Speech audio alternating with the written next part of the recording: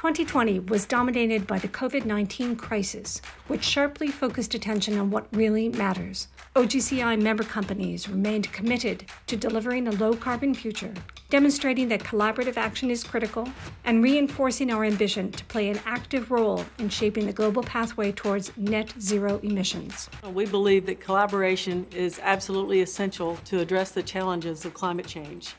We became a member of OGCI to help lead the industry in addressing those challenges. We need to remain ambitious together and continue to lead the industry by example, setting the bar high for our collective work.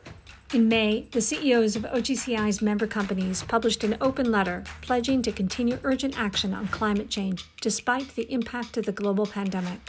Fulfilling that pledge means taking more practical steps together to reduce emissions now. I personally value a lot of Repsol being part of OGCI because uh, it's a group clearly oriented to action. In July, we announced a new near term carbon intensity target for our upstream operations.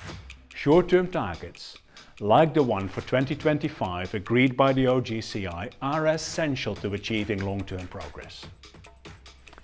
This short-term target means real action right now.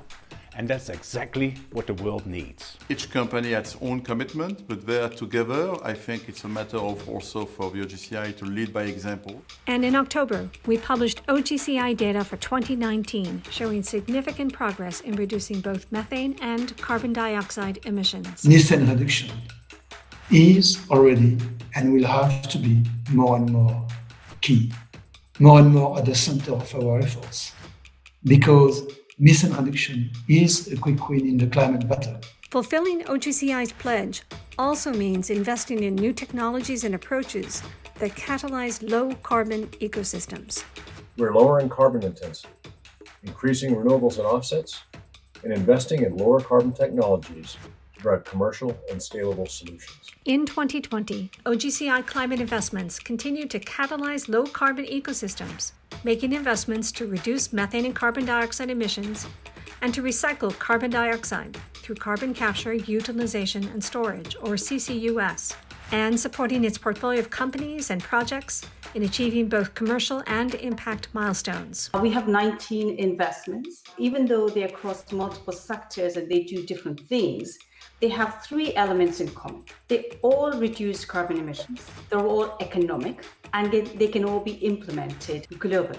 The fund ensures we all have skin in the game, providing practical solutions and doing more together than we could do as individual companies.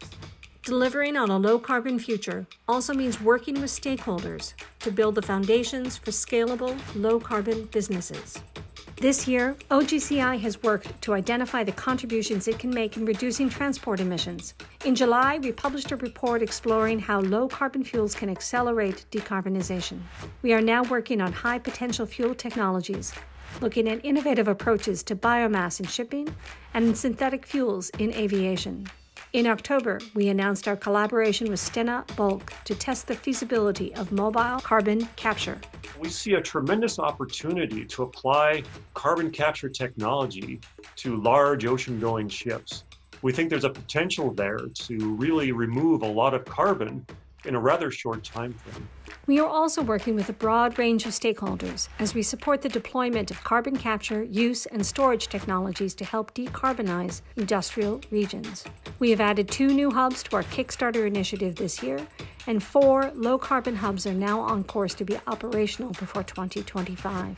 In July, we launched the world's first independent catalog of CO2 storage resources to provide investor level confidence in the maturity of commercial resources available to CCUS projects globally.